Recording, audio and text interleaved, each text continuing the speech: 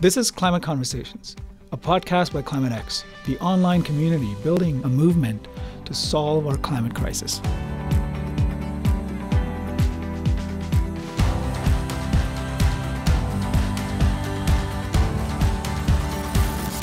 Hello and welcome to Climate Conversations. I'm Rajesh Kasturirangan. Hi, and I'm Laura Howes. I also work at Climate X, and I guess I'm here in the function of someone who's immensely interested in climate change, but not necessarily the technical educational aspect of it. And I'm Kurt Newton. I work at MIT's Office of Digital Learning, and I'm on the Climate X team. And I often play kind of the, the climate wonk. I like to I like to get into them details. Details, details. Um, talking about details, I want to talk about fly swatting. Oh man, We've had some interesting conversations going on recently. Yeah, uh, about whether we need to be confrontational, especially when it comes to market forces. yeah. Market forces has been a running theme, it seems, on the ClimateX platform, and no surprise because market forces are unquestionably a running theme out in the wide world as well, and driving so much of what happens or does not happen in regards to climate action. Yeah, and some of us think that we should be bludgeons, and others think that we should carry flowers. And come to ClimateX and tell us what you think. Yeah, I, I have to be honest with you. I I think maybe it's my nature to be a confrontational person, so I'm kind of more of a bludgeon approach. Like if people aren't willing to listen to the softly softly, then uh, maybe the more aggressive approach is, is what's necessary. But uh, it's kind of drawing the line as to when we actually get there. Like, what is the point at which we have to accept that people aren't listening? Yeah. I mean, I definitely am on the bludgeon side, but I do think that one can be a tofu bludgeon, as I called it. Yeah, I, for me personally, I got to weigh in as well. Um, I think there's a there's a place for bludgeons and a place for, you know, the uh, I'm I'm not even going to have a fly swatter. You know, the the fly cage, the Fly cage. the all right. engagement, and um, so, where do you decide those two places are? Like, how would Yeah. you make that distinction? I'm not sure that there's there's a line that needs to be drawn as often as we might think. So my thought thought on it is as the climate movement really becomes a movement, as it becomes central to world politics, it's going to take every type.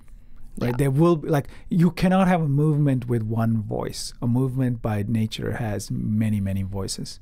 You need the uh, you need the aggressive folk out there with their bludgeons, kind of pushing really hard, and you need the softly softly approach, I suppose, to bring in the moderates, the people that are willing to listen, that are a little bit more closer to that line of okay, I, I kind of I understand climate change, but I'm not quite sure how I should act or can act or whether it's a priority for me in my life. Yeah, you hear some stories of people who've been actually quite successful in quiet advocacy. That mm. one of the things they hear from the people that they're working with is, "Thank God you're not, you know, screaming outside my door." And I think there's actually there's a there's a relief that comes, but it's a necessary thing. That Yeah. like if it wasn't for the people screaming outside the door, that I wouldn't seem so feel reasonable. good. That's that's exactly right. And Yeah, I, I think there's a role for all these voices. It happened actually quite a lot in the anti-globalization movement, right? That there were people in the room and there were people screaming outside the room, and there doesn't have. I mean, you don't need to have coordination between the two. It's almost organic, mm-hmm. but nevertheless, the movement needs both. I No, you're absolutely Yeah. right. So we'd love to hear from you, Climate X members and listeners, who uh, please come to uh, to the Climate X website and and join the conversation about this. Yeah, we're at climatex.mit.edu. Um, we've got some good conversations going on right now about how we should, t- you know, tackle this problem. Do we go for the bludgeon? Do we go for the fly swatter? And we'd love to hear what you think. Me and Rajesh will be there with our bludgeons in hand. And and a, and a hug, a And big a- hug for everybody. A huggen. A huggeon. There you go. Um, so this week we have a really inspiring person in our studio, Timothy Gay, who is a science teacher at the Boston Latin School and the founder of ClimateCurriculum.com. What do you think, Kurt? Yeah, you know, this is a little different from the the first few guests we've had on the podcast who come from the university environment. But hey, this is an educational institution here at MIT, and we really, really care about what's going on with the uh, the younger generation as well. and and Timothy appeals to me so much as like I mean, I'm an ex high school teacher, so listening and getting to learn from someone who is a high school teacher and understands the importance of climate change and is able to then you know, really reach all those students is, I'm very excited. I can't wait. Yeah, you know that uh, I think that young people are actually really, really smart about this stuff, and we should we would all do well to uh, to hear their voices. And, so, they're uh, picking up the ball that we drop. yeah. Smash, yeah. Exactly. Yeah. All right. So moving on to Timothy Gay. So Kurt, you know, I've been thinking. I feel like we are going to pass on a sort of a terrible inheritance to our children, and that is climate change. Yes. And it really sort of sometimes does keep me awake at night that my daughter is going to have to deal with things that we did not deal with. Yep. Yep. And that's why I think it's so important to engage with people who are passing on the right values to children. Right. And when we do that, when we bring up, uh, ideally, we want a new generation that has a very, very different attitude to climate change than we do. Yep. And with that thought, I would like to introduce Timothy Gay, science teacher at the Boston Latin School and founder of the climate curriculum. Thank you. Welcome. Yeah, it's uh, great, great of you to join us. Thank you. I appreciate being here. Yeah. So, Timothy, tell us who you are, how you got here, and what do you want to do? um, so, my name is Timothy Gay. Uh, I'm a science teacher at Boston Latin School.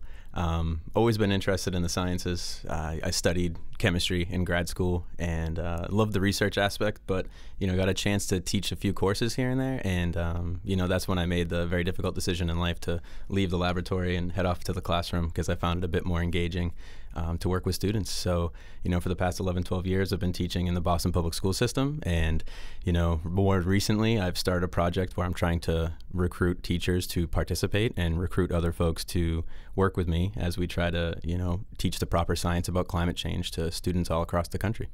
Yeah, it's a really impressive uh, what you've done with with climatecurriculum.com. Just to put it out there for people, um, you should check it out. Even while you're listening to this podcast, or definitely afterwards. It was through that project that I first learned of you, and uh, yeah, I just wanted to say right off the bat, um, way to go! Really impressive. Thank you, Kate. Yeah. yeah. So, how many teachers have you reached so far? Um, it's been really interesting because the project started off with probably about you know 10 or 12 of us working together last summer to put lessons together to start this sort of project. And um, since then, I've had teachers from across the country get into contact with me. Um, uh, just received an intern coming up for the, the, the fall semester. I'll have a student working with me to help me um, write lessons. To yeah, to have an intern means you've arrived because yes. that is that is the way the world is working now. Exactly. So this intern presumably will be writing syllabi, or is it actual course? Uh, I will oversee the writing of curriculum. It almost um, it helps me in the sense where I kind of have the expertise to put it together, but not necessarily all the time. And mm-hmm. um, resources. So essentially, I'll have someone that I will be mentoring write lessons that will help populate the curriculum. So how does this work with you know all the standards and the rules and regulations? So tell us, you know, the mechanics. Yeah, so no, it's a great question. You know, um, especially in Massachusetts, teachers are held to a very high standard to make sure that the proper science is taught in all the science classrooms, to make sure that if a student in Western Mass or a student in Boston is taking a course in chemistry or biology, that they are learning the same material. And more recently, there's been an overview and revision of the curriculum standards they're called for Massachusetts and they've begun to include climate change as part of that so that's a major deal here in Massachusetts that we have that as part of our um, state curriculum frameworks how does it uh, compare uh, Massachusetts with, say, other states around the United States, and, and even outside of the United States? What have you learned? It's uh, it's very interesting. Um, Idaho, uh, back in March, was a state. The um, the lawmakers decided that they were going to remove climate change from their science curriculum because um, they don't feel like it's an important issue. Some other interesting information, I guess, and, and I guess this is just at the root, I think, of what you were discussing in the beginning part of this podcast about, you know, why this problem exists is because there's so much money in the disinformation campaign about climate change that you know, the only political party in the entire planet uh, that does not believe in climate change is the United States Republican Party. Yeah. Did you get one of those uh, Heartland Institute books? I absolutely did. Um, Yeah. It was funny because uh, many of my colleagues at Boston Latin School also received the book, and they came running right to me because they know I'm fascinated with climate change, and they said, "Can you believe this? You know, we, you know, climate change is a myth, Yeah, maybe- according to the Heartland Institute." People may not be familiar with what that book was. If you can remind us. Oh, sure. Yeah. Um, it was essentially it was a book that was published, and it's it's it's glossy. It's very well put together. It looks like it's an actual science publication, but it was published by the Heartland Institute. And if if you're not familiar with the Heartland Institute, they're the ones who are always you know, finding a scientist to sell their credentials to be on the wrong side of information. You know, essentially the, you know, secondhand smoke doesn't cause cancer or CFCs aren't uh, causing a hole in the ozone layer is the side of the argument that those folks tend to um, gravitate towards. So now they've put this publication out to, I believe it was around 20,000 science teachers across the country. So that- oh. more like stake through the heartland. right? Reflecting back on our past conversation. Yeah, indeed. I- so I believe that you have a group of students who've been working with you on this curriculum. Can you tell us a little bit about exactly what that looks like? Absolutely. So I work with a group of students. They are part of the Boston Student Advisory Council. So they come from all the different high schools throughout the city, and they are a group of activists. And these students advocate for change. They've been working really hard for student rights, and they've been working really hard for proper funding of the Boston Public Schools. And one of their projects they've recently picked up was devoted towards climate change. And one of the really interesting stories for me, at least, when I talk to the students of why they care about climate change, is many of them, it, it all started with one conversation of when did you first learn about climate change? And, you know, it seemed like all the students had different answers. You know, some maybe had a teacher that talked about it in elementary school, some maybe didn't hear about it until high school, even.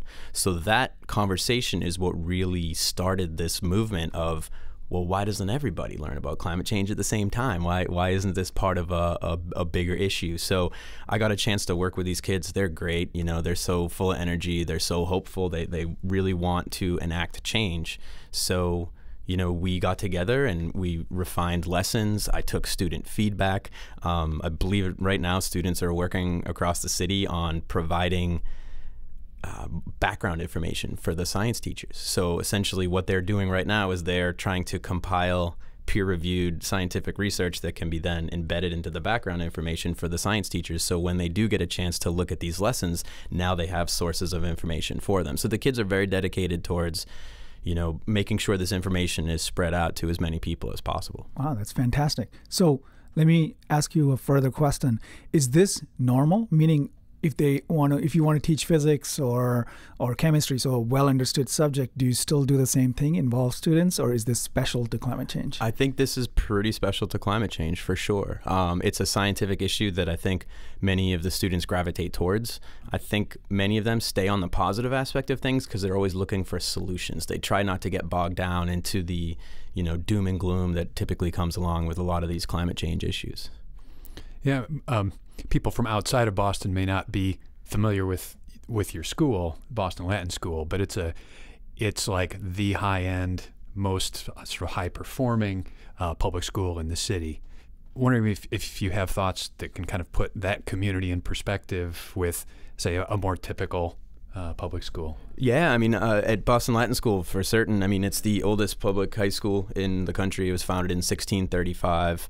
Um, I mean, I, I should know how many of the signers of Declaration of Independence went to our school, but I forget. Um, yeah, it's like the it's like the uh, the public school predecessor to Harvard. Right. Right. Right. And um, kids have to pass an exam in order to gain entrance, and they have to have a certain GPA. So these are, you know, it's, it's essentially a school for the gifted and talented. So at Boston Latin School, you've got a, a, a group of students who are particularly um, motivated, Correct. perhaps. What what do you think the situation might look like in in a in a more typical public school somewhere else outside of uh, the Massachusetts uh, blue bubble? Good question. Um, I, unfortunately, and from the article that I've read that you know really kind of inspired me to put this climate curriculum together, um, they surveyed science teachers from across the country about how well they teach climate change, and the results were rather startling. That many of the teachers don't. This Um, is the Science Magazine article, Correct. And we'll put a link to that on our on our uh, Yeah, on our climate page. confusion among U.S. teachers, I think is the title Yes. of it. Yeah. Yeah, and um, I mean, essentially, teachers across the country aren't teaching climate change for a number of reasons. It's whether they don't know well enough about it themselves or potentially uh, pushback from parents or other administrators in the community that don't necessarily agree with climate change.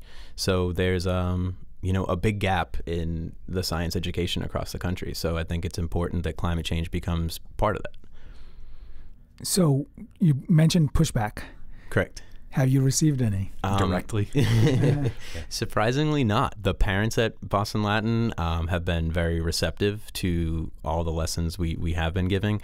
The last parent teacher conference I had, you know, we have a very short window of time to talk to all the parents. So I usually give a very brief presentation to them about the course. And, you know, at, at the end of one of them, and it was a really eye opening experience for me, but one of the parents said, Jesus, class sounds so depressing, you mm-hmm. know, like because I said, oh, we talk about, you know, deforestation or sea level rise or forest fires spreading, you know, or the chemicals in the environment. And my kid's coming home all bummed out. Come on. exactly. But then I guess that was a, a an eye opening moment for me to start focusing more upon the solutions to the problems as opposed to just these problems are terrible.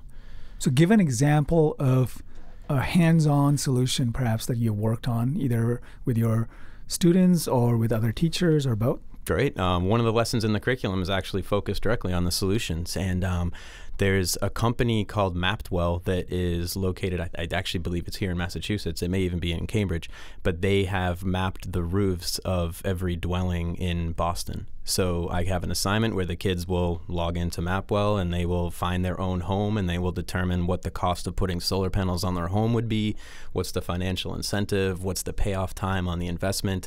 And then additionally, there's a professor out at Stanford. His name's Mark Jacobson, and he works with the Solutions Project.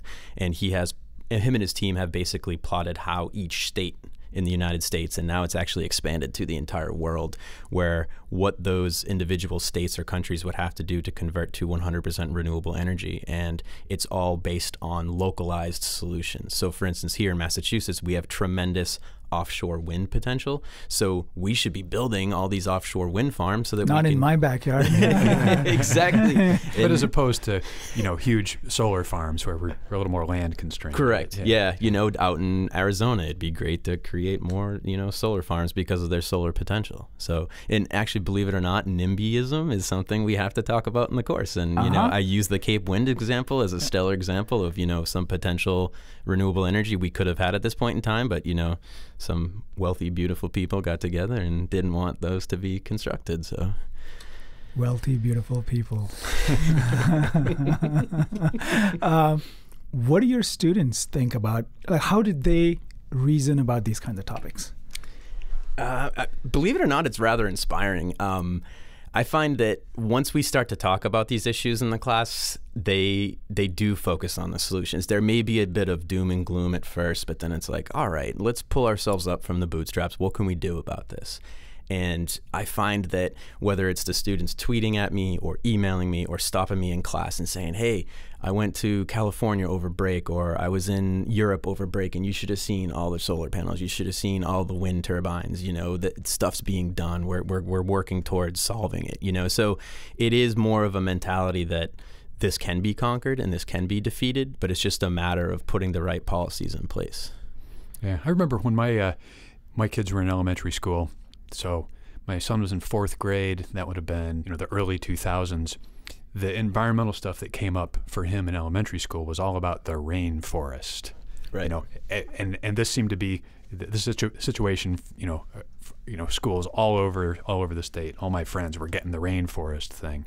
Um, do you think climate change is becoming the thing, I, the environmental thing? Absolutely yeah. believe so. Yeah, it, it's it's on the forefront. I mean, of most news sites. I mean, you can't escape it. I think every day there's usually something mentioned about, you know, was it the Larsen ice shelf that just you know broke off from Antarctica? It, it something relevant to our collective you know culture is always focused on something with yeah. climate yeah. change. Well, you know, around that era, uh, in malls all around the United States was a restaurant chain called the Rainforest Cafe. Yes. Are we going to head for the climate change cafeteria? when someone climate figures cafe. out how to, someone figures out how to make money doing it, I'm yeah. sure. I, I, actually that is my worry, right? That it'll become yet another boondoggle. Well, if it's all locally sourced There you food and you know organic, I think it's you know okay. hmm We'll hope All for right, that- I'll get I'll get my crossed. business plan There ready. Yeah. yeah. That, so that that reminds me. I wanted to ask you about um, teaching climate change to different age levels. I know on climatecurriculum.com. Well, you come from a high school background. You've got stuff down to the elementary school level, and what's uh, what's a couple differences in how you would teach climate change to a really young person versus, uh, you say, a, an adolescent? Yeah, that's a great question because um, you know they keep me up with the 11th and 12th graders. So teaching something to a third grader would be a nightmare to me. I wouldn't know the first thing to do. Um, but working with the other teachers, I noticed that it's you got to start with like the big ideas at first. You know, so for instance, if it was an elementary school, we could begin teaching the students about what a watershed is, and then teaching about say maybe the watersheds around the city of Boston and how water flows and how it flows to the oceans, and kind of leave it there. You know, and and then the the younger kids don't need to know about the doom and gloom aspect of stuff. It's not going to work well. Yeah, so it's all about connecting to your local environment and just Right. Being able to follow that. Right. And then I would say maybe you move up to the middle school level and then you start to talk about sea level rise and how that could potentially begin to affect things. And then maybe have them look at how sea level rise might affect the city of Boston, which, you know, is part of one of the lessons we have. And then maybe lastly, when you get to the high school level, you start to have them engineer solutions to the problem. So, you know, kind of keeping that consistent theme from the younger grades to the older grades, but building upon that previous knowledge. So, is there a community of teachers in Boston or perhaps in Massachusetts who are building this kind of stack, right? Starting in elementary school, going all the way to high school, and sort of Yeah, I mean it's it's a common thing in the education realm. We call it vertical alignment. Um, so it's something that you try to make sure that the same principles are touched upon in all grades, but that you're building as you go upwards. Um, it's part of the fellowship that I was working on recently, um, the Science Education Fellowship, which really kind of was the root of how climate curriculum came about. But um, I worked with other science teachers, and we would focus on how energy transfers in an ecosystem, and I saw how that works from the you know second or third grade level all the way up to my classes in AP Environmental Science. So you know you pick a consistent theme and you look at it and how it can be taught differently to different age students. I'd like to hear about any of your prior students who've perhaps moved on and really taken on these issues in their post high school lives. It's a great question. So every single year when um, my seniors go off to graduate, I usually spend one class chatting with the seniors and, and chatting with the whole class so they can explain where they're going to college and what they're going to study. And more often than not, now I'm seeing students going into the environmental realm um, and primarily like environmental engineering. And uh, believe it or not, I had one student recently revisit from BU, and she had graduated high school three years ago. So she's a junior and she's studying environmental policy. So I was so excited. I was like, you got to tell me all the secrets because the only environmental policy I've ever learned that was successful was the Montreal Protocol, which banned the use of CFCs so that we didn't destroy the ozone layer. So I was like, Erin, tell me what's what, what else we have out there. What are your professors talking about? And she said nothing. She says that's all they ever referenced. It's, it's, it's all uh, it's all effort and teeth gnashing. Yep, Uh, it is. If the policymakers would just listen to scientists a bit more, I think I hear we'd be- carbon pricing's pretty cool. wait, Kurt, is that something that you care about? Uh, it might be. Oh, okay. so, Timothy, t- you've been to some exciting events recently. So tell Professional development. professional development events Yes. with people who might have invented the internet, uh, right? Uh, so tell us a little bit. Yeah, so I, uh, I was very lucky to uh, go out into Seattle at the end of June, and I went to the Climate Reality Project conference, and it was a three-day conference that was hosted by Al Gore. And um, Al Gore was our primary leader the entire time. Uh, we had a great three days where I got to see some major activist work that had been going on out in the Seattle area, ways in which they've prevented, you know, coal distribution in certain native lands, or you know, not building a, you know, hydroelectric dam that would disrupt the flow of you know salmon migrating, and it was a chance for a 800 like-minded people to get together in the same room and exchange ideas and figure out ways for future collaboration and really kind of see the forefront of what's going on with climate change. You know, Al Gore's got his sequel coming out in about a week or so, where the Inconvenient Truth sequel is going to come out. And, you know, he seems to be vindicated on a lot of those initial projections he made in the first film back in 2006.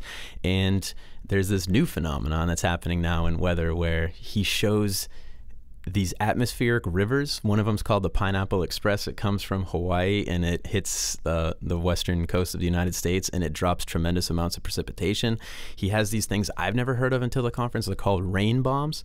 And if you Google a rain bomb over, I think there's one great one on Tucson, it literally looks like a giant bucket of water bouncing off of the buildings and the, the land when the rain comes out. So we're starting to see more extreme weather events with climate change. So Al Gore focuses a lot on that that as well. So it was it was a really great conference to, um, you know, get re-energized, motivated, and, and working towards solutions when it comes to climate change. Were there uh, any other teachers out there you met? There was a handful of teachers, yeah. yeah. Um, some, believe it or not, from Massachusetts even, and ah. um, yeah, and some others. So I got a list of folks that you know we're going to try to do some collaborations on in the in the near future. Fantastic. So how do you network with other teachers?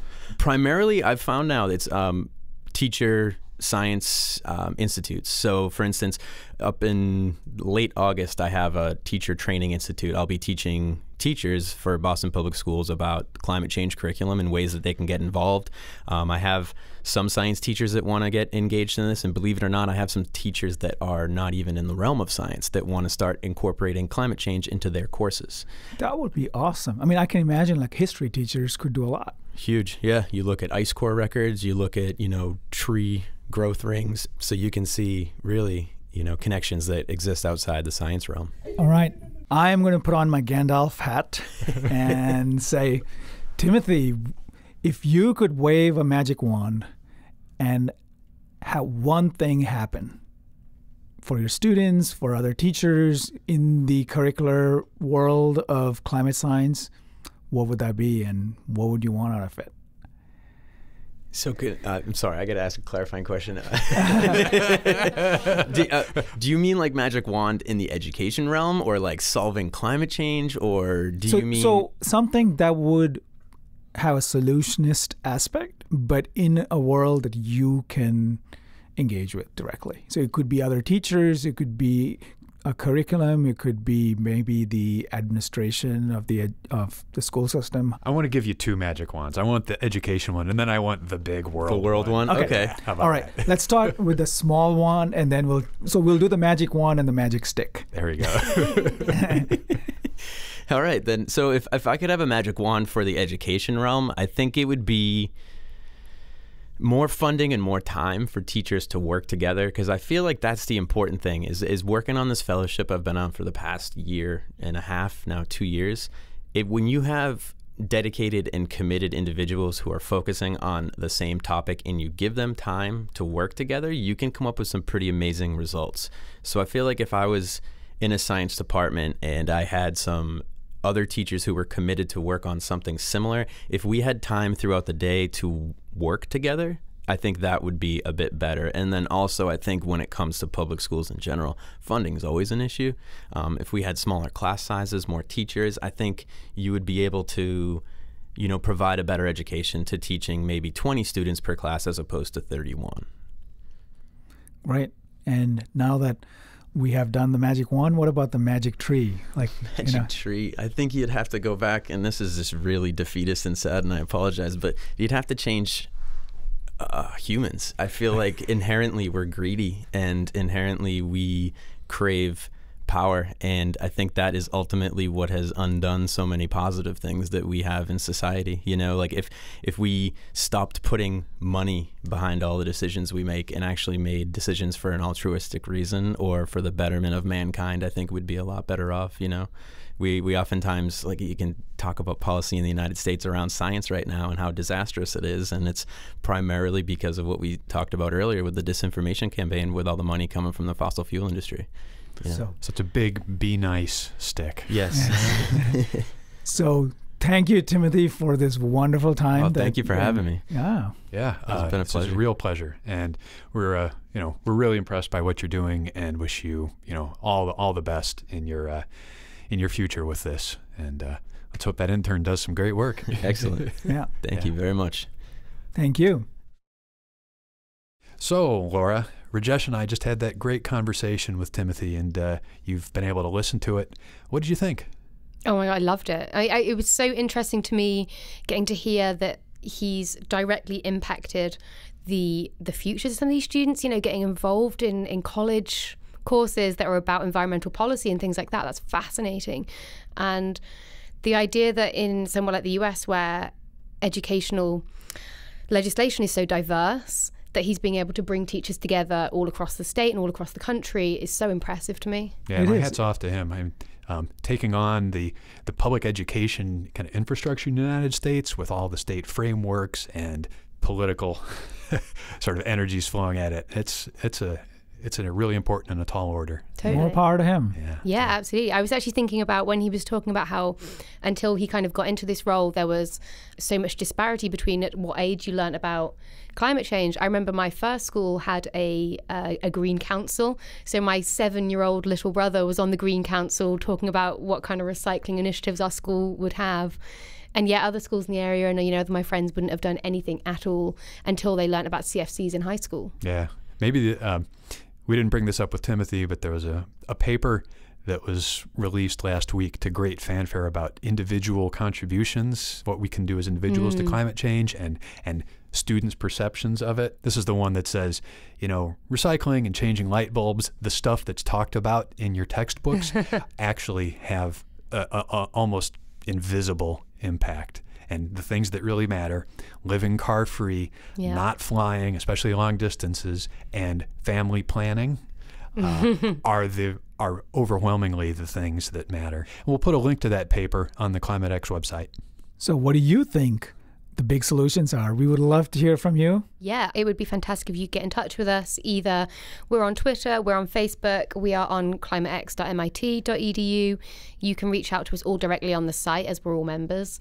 And if you wanted to get in touch with us via email for any future podcasts, any questions you may have or that you'd like us to answer, you can get in touch with us at climatex underscore feedback at mit.edu. Thank you, Laura. Thank you, Kurt. Thank you, Rajesh. Yeah. Goodbye. Another great week. Bye. ClimateX is powered by its active, diverse global community. Visit us at climatex.mit.edu and join the conversation.